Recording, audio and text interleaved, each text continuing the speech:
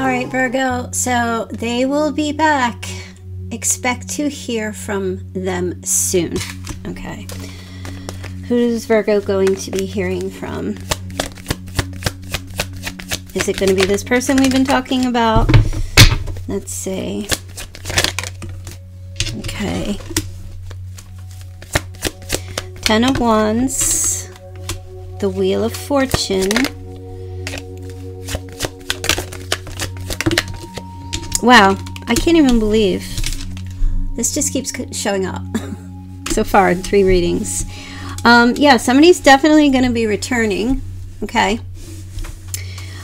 Um, it could be, if there's a court card, it'll definitely show up more specifically, but it could be Aquarius, Leo, Taurus, or Scorpio. You will be receiving a message from somebody after they put down some kind of load that they've been carrying around for quite some time. There's definitely going to be a change. And you will hear from someone. Now, the Page of Cups is a very mild message um, that's very sweet. It could be in the form of a text, it could be an email, um, could be like a chat comes in. Let's see, this person. Um, hmm. Why is this eight of pen, uh, seven of pentacles here? Huh. This person comes in with this big they've contemplated themselves, it looks like. They're coming in with this Emperor energy, Aries. They're coming in with this bold, take the lead energy. Hmm. Well, if you listen to the previous reading, where I did feel like, you know, oh, oh, oh, oh, and, I, and we had the Empress in the previous reading, the water sign thing. So seeing you as an Empress, them coming in as an Emperor, you know, Virgo, I kind of feel like this person's going to come back completely changed. Yes. And there, look, there's the Ace of Cups. Yes. Okay. So, like, changed behavior is what I feel. I feel like this person is not going to change their personality. They are who they are. Um, but the behaviors um, coming in with this Emperor energy is very much like above board, upfront, honest, um, a bit commanding, not demanding, commanding, um, good communicator, uh, someone who is good at delegating, uh, very direct type of a person, but not mean, and also someone who is of very little words. But what they do say is profound of what they do say. Um, so yeah, you're going to be hearing between February, I'm sorry, between now, January, the, I don't even know today, is it Monday? The 15th, 16th, um, all the way up through like the second week of February. You're going to be here, maybe even on Valentine's Day. Could be getting a little heart. All right. Three of Pentacles fell out in the reverse. So part of this communication, um, I feel like, is going to be this person, because you know the next reading is confession, so hold on. Um, they may lead up to perhaps telling you. Um, I'm actually let me do them both because they're just calling me to bring these in now. Someone has some has someone has to tell you something. So they may lead up to telling you and confessing to you what's changed and how they weren't open to learning in the past. They were kind of like unteachable. Maybe they're, you know, how you, the older you get, it's hard to teach an old dog new tricks. It might have been that too. Um, but it feels like, you know, because the Three of Pentacles in the reverse is a card of someone who's like skipping school. you know what I mean? Not going to school. They're. Uh, juvenile delinquent or something, then this person may have been a juvenile, like acting like a juvenile delinquent. If you listen to the first reading with caution, you had the fool. There was someone who was just irresponsible, doesn't take heed or warning, you know, and I feel like this is part of the story that this person it's like, wow, I decided to grow up. I decided to like be an adult in this relationship. And I want to tell you that I was a juvenile delinquent with you. I was not open to learning. I was not teachable. In other words, I, I struggled with hearing what you had to say. I struggled with empathizing. I couldn't put myself in your shoes. I may have been dismissive when you tried to share how you felt, or um, I might have gone cold or just pushed you away. And I've learned through maybe either a mentor or someone that I was talking to, like a fire sign before, um, or an air sign, and I've learned that I'm on the brink of losing you if I don't make these little changes. These aren't massive changes. Now, listen, if you were dealing with someone that was, and I just feel like Spirit wants you to know, you know, if so, if somebody like dismisses you and isn't hearing you out or doesn't want to sit down and talk about something, you know, that's one thing. But like if someone is physically abusing you or if they are lying and cheating, um, those are big cart item, big ticket items that are non-negotiable. They're just non-negotiable. This is the price. If you can't pay the price, you got to go shop somewhere else. Those types of things, like I'm, I'm saying, you don't ever like, you don't if you pick up a snake that has a cute little scarf on because it looks cute and that makes you think it's okay, no, that snake's going to bite you bite you because snake's a snake, right?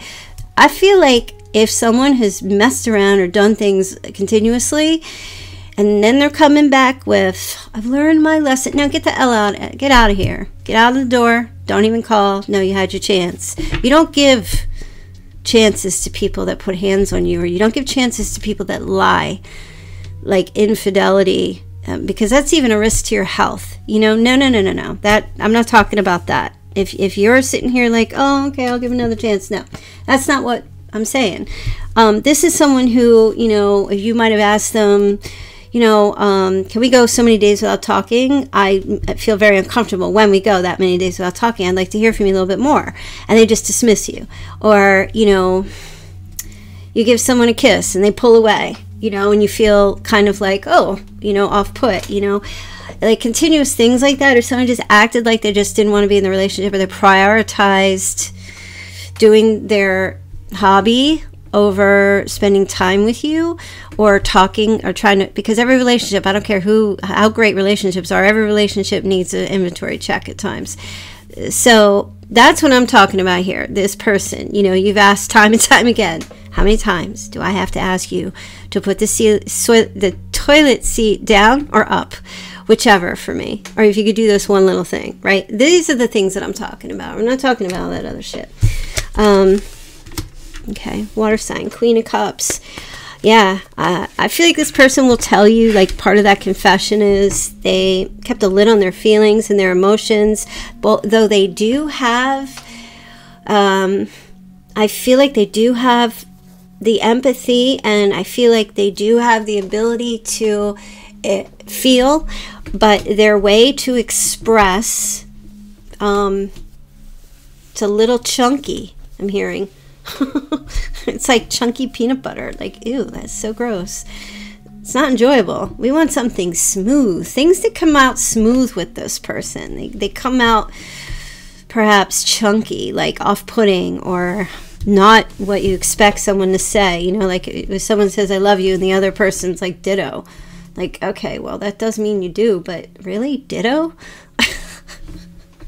I mean, maybe you guys did that. I don't know. I, and I'm not saying that's right or wrong. I'm just trying to give an example of like, ditto is kind of cold, even though it, even though it does mean the same thing, and it can be playful. It, it, you know, this ain't Patrick Swayze, Demi Moore anymore. So this is, yeah, this person, look, here they come with the Knight of Cups. Yeah, so they're to make some effort here.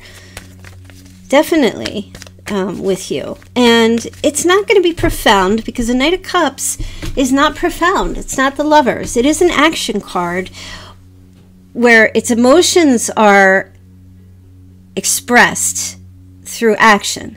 So there is going to be something Okay, but remember, you were still trying to figure out what you wanted to do here from the other readings. You were still kind of like, uh, is it going to be struggle? Am I am I built for this struggle?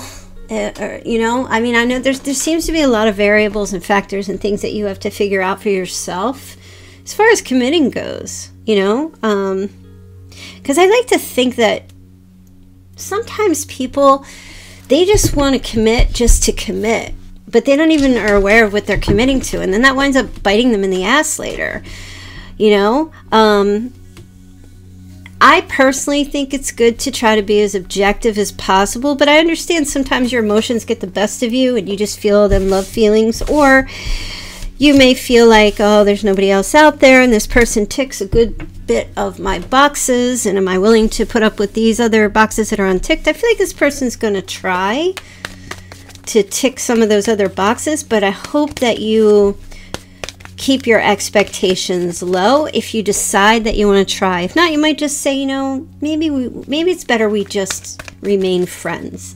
Yeah, so you got some stuff going on here for you during this time period, but if this runs in through Valentine's Day, which it possibly could, um, I would say you might hear from this person even around Valentine's Day, which could be, um, well, it's sweet. You know, it's kind of sweet. It may not be enough for you, or and for others it might be. So, let me see. Is there anything else Virgo needs to know? Okay. Yeah, they're definitely going to try to do the right thing here. That's Libran energy there. Um, they're definitely going to try to make things right. Not perfect, but make make things right. Try at least, and they're going to start with love and try to give you like I don't like I don't I don't know if this is because this Queen of Cups has this lid on the chalice there, which means the emotions are deep within. I don't know if this person like I feel like they're going to try to give you what you need, not what they need. Does that make sense? Which might be all right with you. Oh, look, there's the King of Cups. Yeah. So you know, I don't know what's going on here in this reading, but I will honestly tell you that I feel like part of this confession to tell you is that they're aware. They've become aware. And they don't want to lose this relationship. They're going to have to make some tweaks. It's not a lot. I don't feel like Virgo's ever really asked for much. I feel like Virgo's, you know, I just don't. I feel like Virgo is not that person who's, you know, asks for much because I feel like Virgos are very settled. They can be and, and quite self sufficient and they're okay. They don't usually have great expectations of people either. If they're in their logical, objective, practical mind. Um, I'm not so sure about the emotional side, but Virgos do have a tendency to want things perfect, and I think it's important that you know this perf- this person is going to try, like I said, to make things as right as they possibly can if you want them to. But they're not it's not going to be perfect. And so if you have an expectation for perfection, you're going to be disappointed. And that just goes all across the board with people in general because nobody is perfect, right? So let's get a couple of initials and names and try to see. Okay, we've got the letter B um, and the letter O. Bo, B-O, um, or just B and the letter O. Um, then there was a 12, so and it flipped to a 10. So we have September 10th, September 12th. Also, if somebody is age 53. Let's see what else you have here, Virgo. Oh. See what I was telling you about the snake? Here's a snake. All right. Um, and that that's specific for you guys where I was trying to say that if you're dealing with someone who like I said um has has just been I'm not even talking making tiny mistakes. I mean, it's just been a slithering snake. Uh, no, I, I would not advise to give more chances to that person. You know, sometimes, sometimes people just got to take a loss. You know, I mean, it's like when you get to the playoffs, you didn't get one chance out there. So, you know, if you. I was watching these um, old America's Got Talent, Britain's Got Talent, all that. And I was watching, I don't know if you guys saw it, but there was the the really bad auditions. And there were people that were showing up there that weren't prepared, you know, um, because they didn't really want it that much, I guess, or they had something wrong with them that they th- thought they were amazing or gifted, talented singers or whatever. Um, but they would they would show up and they were just awful. And then of course, you know, the judges are like, no, um, you're not going to pass through and they would get really upset. Like i'm the best singer in the world. I've i've got this and i've got that. And they'd get a real attitude. And sometimes the judges are like okay well if you feel that way did you do any preparation? Have you had any vocal training? Have you done anything to secure your position to get to the next level here? Well no i haven't. I never did that. I just know i'm a good singer. You know and it's kind of like i think the point i'm trying to make is um, when you're dealing with someone who just comes back around and is like, Well, I've learned my lesson, you got to be like, How? What have you done? What actions, what work have you done? What has happened to you? You can't just take people at their word, you know, because, I mean, and, and if you decide to, uh, you'll find out very soon if they're if they're true to their word or not. But I wouldn't just take anybody at their word after they've um, pulled those major violations against you, against your soul, because I can tell you that the worst thing that can happen to someone is not their physical injury, but their spirit being decimated. You know, when you're when you lose your spirit and a sense of who you are, you're dying from the inside out. Your body will just follow along later because people are generally strong and they can put up a good fight. But when someone attacks your sense of who you are and your spirit and your soul by lying to you and causing you to mistrust yourself, I mean that's that's devil energy right there. You know, so that's that snake, slithering snake shedding its skin every time they come back around and tell you that they've changed, but they haven't. They just they just got new skin. You have to see what I'm talking about here because that's not what I'm talking about here with this person. This is like you left the toilet seat up. I've asked you 20 times. It's not worth breaking up over, but for some of you, it's like these are small tweaky changes that need to be made, you know, that need to be talked about, like I was saying before. So I do feel like that energy is good and that's going to start to improve um, because I feel like this person, I don't know, something makes them want to be with you, something special about you. Um, like I said, you had that eagle in the previous reading. You're above, high above all the rest. You're worthy. You're worth it. Um, but if it's if it's if you feel like it's this is that person that's like oh yeah they feel all that way but then they keep doing what they're doing then it's a no don't even entertain the reading don't don't gaslight yourself you don't need to worry about anybody else gaslighting you you need to worry about gaslighting yourself keep it real hey you guys thank you so much for watching my readings if you'd like to get a personal reading Please feel free to click the link in the description box below to go ahead and follow that link and book your reading. Please remember to book, subscribe, like, do all the great things. Um, and I hope that you guys have a fantastic, blessed, loving, and light filled life.